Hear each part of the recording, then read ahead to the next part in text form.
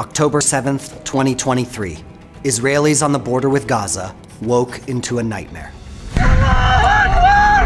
On Saturday, Hamas launched an unprecedented attack, sending more than a thousand fighters into Israel. Men, women, and children were ruthlessly and mercilessly killed. 260 bodies were removed from the desert. For the slaughter, the slaughter us there. It was the largest mass murder of Jews in a single day since the time of the Holocaust. The brutality of Hamas brings to mind the worst rampages of ISIS. So, who is the group behind the worst attack in Israeli history? Who is Hamas?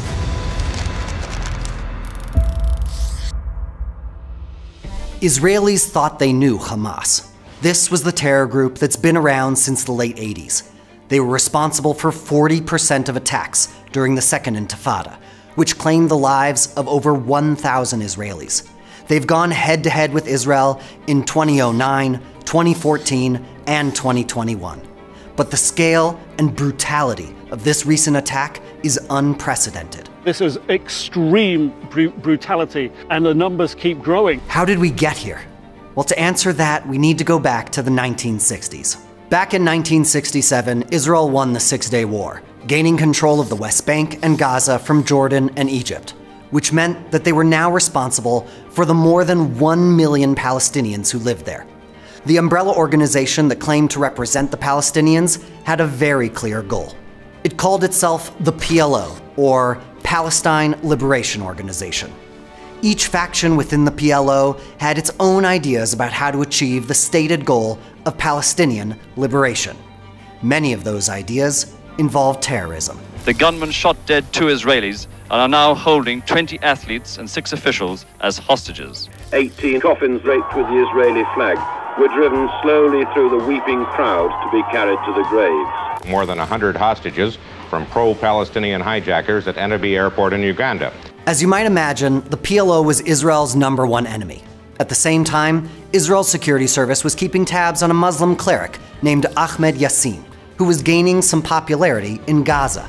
After all, Yassin was a member of the Muslim Brotherhood, which Israel was hoping would act as a counterweight to the influence of the secularist Marxist aligned PLO. The Brotherhood had utilized violence in the past, but by the late 60s, the core of the Muslim Brotherhood in Egypt had given up on violence. The extreme members began leaving Gaza. The remaining Muslim brothers developed a moderate worldview that focused mainly on spiritual revival. That seemed to be Yassin's main interest. He spent his time building schools, mosques, and clinics. So as Israel cracked down hard on the PLO, they left Yassin alone to grow his network. But everything changed in 1979. A tearful Shah of Iran left his country today on a vacation from which he may never return. The secular, pro Western government of Iran, which had been Israel's ally, had fallen to a radical Islamist movement. The Islamic Revolution struck a chord all over the Muslim world, particularly with Sheikh Yassin. Imams in Gaza grew more and more radical, preaching armed struggle in the name of Islam. At first, Yassin and his followers brought their armed struggle to their secular rivals in the PLO, essentially a low level civil war.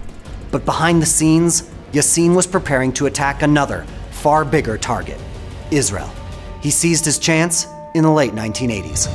By this point, Israel had administered the West Bank and Gaza for 20 years, what some refer to as the occupation. This is our land. They take the land by force.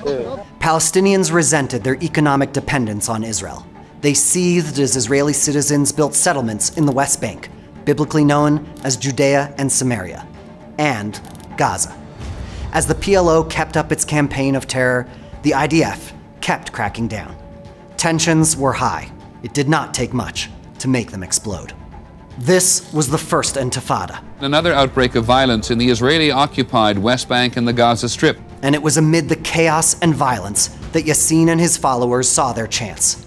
It was time to unveil their new group, the Islamic Resistance Movement, better known by its acronym, Hamas.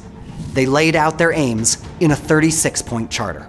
Here's some of the key articles from the charter that many view as deeply dangerous for the Jewish state. Article 8 Allah is its target, the Prophet is its model, the Quran its constitution, jihad is its path, and death for the sake of Allah is the loftiest of its wishes. Article 13 There is no solution for the Palestinian question except through jihad. And Article 32 The Zionist plan is limitless.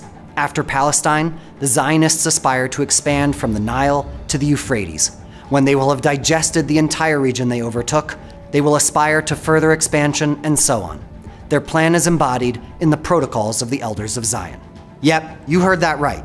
Hamas's 1988 charter literally quotes the world's most famous bogus anti Semitic conspiracy theory as proof of their validity. Unfortunately, Hamas wasn't all talk. Their first act as an organization was the kidnapping and murder of two Israeli soldiers in 1988, mutilating their bodies for good measure. תוך כדי החיפושים אחרי אילן סעדון, התגלה מקום קבורתו של אביס אספורטס. ככל הנראה הוא נרצח במכונית שאספה אותו. The Israelis were furious. They sentenced Yassin to life in prison, but it was too late. Hamas had been unleashed into the world. Their attacks kept coming, and they weren't just targeting soldiers. They spread terror by attacking civilians. And then Israel made a huge strategic mistake. Desperate to get rid of Hamas, the IDF deported all known members to southern Lebanon. And that's where they met Hezbollah, another terrorist group sworn to Israel's destruction. Hezbollah, which had been created and trained by the Iranians, taught Hamas everything they'd learned from the Iranian Revolutionary Guard encryption and codes, espionage, how to use a rocket launcher, how to make a bomb. It was this last one that would haunt Israelis through the coming decades. I want to pause here to address something you see a lot on social media. You might have heard statements like, Israel created Hamas. This is absolutely untrue. Yes, Israel made the strategic mistake of ignoring Yassin and later deporting the group to Lebanon. And yes, the dire economic conditions in Gaza have led many Palestinians to side with Hamas. But to say that Israel created Hamas is to misunderstand the group's history. It's victim blaming. But back to our story. Eventually, Israel caved to international pressure. They brought the Hamas men back into Gaza. Within a year, a Hamas fighter nicknamed the Engineer used his Hezbollah training to change the conflict completely. He engineered the first suicide bomb attack in Israeli history. Throughout the early 90s, Hamas's preferred targets were buses or bus stops, where civilians and soldiers mingled. But slowly, they branched out to other soft targets a mall, a cafe, a marketplace, all with the goal of terrifying and murdering civilians. Israelis were used to terrorism, but this was unprecedented. Hamas was convincing young people that death was preferable to life. The martyrdom was a Muslim's highest calling. We came with our souls, our blood, our martyrs, and are wounded to sacrifice ourselves for Palestine and for our people. After Israel and the PLO signed the first of the Oslo Accords in late 1993, Hamas, along with other terror groups, responded with a wave of attacks. The failure of the peace process was followed by a dark time in Israel, the Second Intifada. A suicide bomber killed at least 15 people late today in Israel. Rescue workers said at least 60 people were hurt. Tonight's explosion rocked a hotel just as guests were beginning the ritual meal that begins the Passover holiday. For years, Israelis endured near daily terrorist attacks, including suicide bombings. 40% of those were the work of Hamas. The other 60% came from other Palestinian terror groups, like Palestinian Islamic Jihad and the Al Aqsa Martyrs Brigade, the military wing of Fatah, the political party in charge of the PLO. The violence of the Second Intifada caused intense trauma for Israelis and Palestinians. It's a trauma that directly impacts the conflict to this day. By 2002, Israelis had had enough. They began building a barrier along what was essentially the border before the Six Day War, eager to make the terror stop. And in 2005, then Prime Minister Ariel Sharon made the highly controversial decision to remove all Israeli settlements from Gaza. Yeah, until 2005, nearly 9,000 Jews called the Gaza Strip home. The block of Jewish settlements in the southern Gaza Strip was known collectively as Gush Katif. But Sharon was determined to improve Israel's security situation, not to mention its international standing. So he authorized a plan to remove all Israelis from Gaza. אם גם בעוד מספר חודשים ימשיכו הפלסטינים לא לבצע את חלקם במפת הדרכים, אז תיזום ישראל מהלך ביטחוני חד-צדדי של התנתקות מהפלסטינים. The move was not coordinated with the Palestinians. It was managed top to bottom by the Israeli government and military in what is described as a unilateral move. Many Israelis protested bitterly at being uprooted from their homes, and many Jewish people around the country protested with them. We call on the Prime Minister to take his disengagement plan to a national referendum or call for early elections. But the army had its orders. In August of 2005, not a single Jewish person was left in Gaza. Meanwhile, Hamas was busy wooing Palestinians. They continued the work of Ahmed Yassin, building infrastructure and schools and clinics. Ordinary Palestinians were already frustrated with the deep corruption of the ruling party, Fatah. So they turned to Hamas, the only Palestinian party that seemed to care about them. And in the 2006 Palestinian elections, Hamas won. Fatah, the US, and Israel were caught by surprise and utterly horrified. The Hamas party has made it clear that they uh, do not support the right of Israel to exist. And I have made it clear, so long as that's their policy, that we will not support a Palestinian government made up of Hamas. Fatah men, with the help of the US, tried to oust Hamas militarily, but they failed. Hamas fought back hard and won. They kicked Fatah out of Gaza entirely. They've been ruling the coastal enclave ever since. In all that time, they've never held another election. But if Palestinians in Gaza were hoping that Hamas would make their lives better, they grew more and more disillusioned with every passing year. Hamas receives huge sums of money from various sources, including the UN, Qatar, and most significantly, Iran. But most of this cash goes towards buying weapons and digging tunnels from which to attack Israel. In response, Egypt and Israel placed the Strip under a blockade.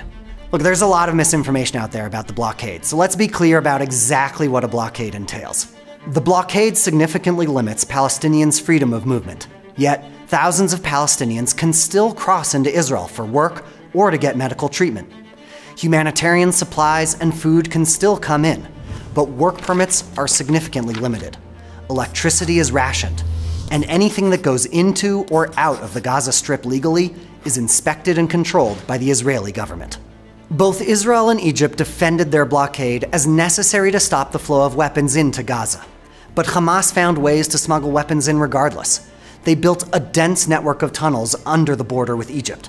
All sorts of contraband passes through there, some of it harmless. Supplies for people who are suffering terrible poverty and a 50% unemployment rate. But a lot of it is dedicated specifically to fighting Israel, including civilians. Hamas once enjoyed a reputation for idealism and lack of corruption, but that didn't last. Today, many of Hamas's leaders live in luxury in places like Qatar, while ordinary Palestinians suffer. But when Palestinians began to speak out about Hamas's authoritarian rule and terrible policies, Hamas did all it could to stop them. They silenced journalists who reported on their corruption. They persecuted Gaza's tiny Christian minority. There is no freedom of press, no freedom of speech, no freedom of religion in Gaza. Not under Hamas. Unfortunately, the suffering in Gaza is going to get much worse. Hamas's attack of October 7th, 2023 changed everything. For years, Israel thought it would live with Hamas and manage the occasional flare up of tension.